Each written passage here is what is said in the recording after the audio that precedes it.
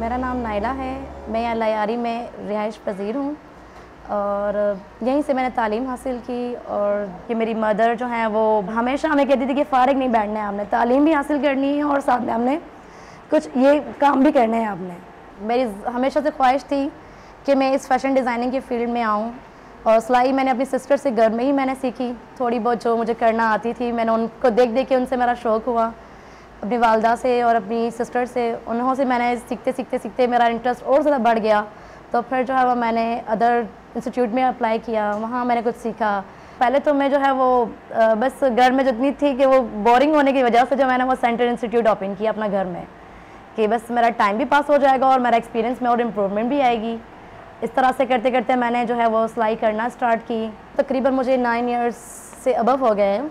उसमें भी तकरीबन 35 टू 30 के करीब लगभग मेरे पास स्टूडेंट्स आती हैं घर में। एक्सपीरियंस तो बहुत था, लेकिन जो मेरे पास जो जहाँ कहीं भी अप्लाई करने के लिए चाह था तो मैं अप्लाई करने के लिए प्रूफ मांगते हैं कि एक सर्टिफिकेट्स चाहिए, और मैंने तकरीबन सब कुछ जो है वो अपने ऑन से मैंने सीखा, और कुछ सर्टिफिकेट्स मेरी जो हैं, वो मैंने जो टाइन डाई सीखा, मैंने पेंटिंग्स डाइंग वो उनकी सर्टिफिकेट्स मेरे पास मौजूद थी। जस्ट जो सिलाई सेंटर की जो सर्टिफिकेट थी ना, वो मेरे पास नहीं थी, क्योंकि वो मैंने घर से स्टार्ट की। मेरी जो कज़न्स हैं, वो यहाँ एज अ टीचर हैं और उन्होंने यहाँ ज्वाइन किया तो उन्होंने बताया कि हमारे यहाँ कोर्सेज सिखाए जाते हैं सिलाई के।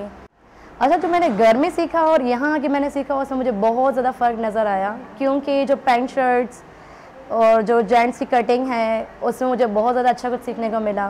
वैसे तो मैं सिखाती थी gents cutting stitching just salwar kameez but जो बॉयज़ पैंट्स शर्ट्स आती हैं, वो मुझे कटिंग्स आती थी, लेकिन वो एक्सपीरियंस नहीं था कि कट्स किस तरह से किए जाते हैं।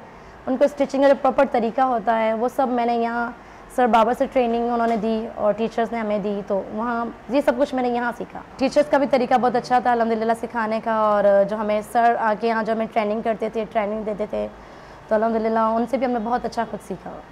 तो मैंने वो भी मैंने यानी अप्लाई किया और और मैंने जो है अपने स्टूडेंट्स को वहाँ घर में भी अच्छी तरह से गाइड किया।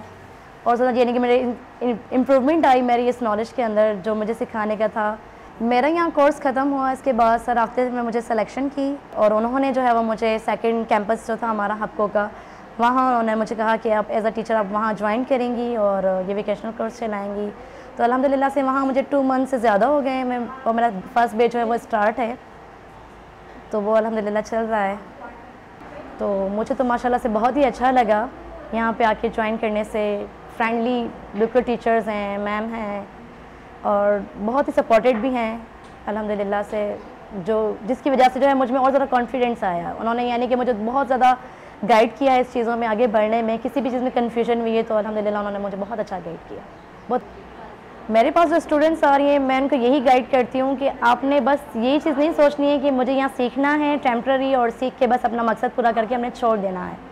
मेरा मकसद ये है कि मैं उनको इतना हौसला देती हूँ और इतना अच्छा गाइड करती हूँ।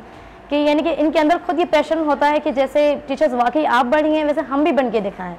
तो जो है वो उन्होंने अलहमदिल्ला काफ़ी ऐसे स्टूडेंट्स हैं जिन्होंने ये शौक़ जारी रखा अपना और अलहमदिल्ला अब तक यानी कि जो अपना काम कर रही हैं और जारी रखा हुआ है।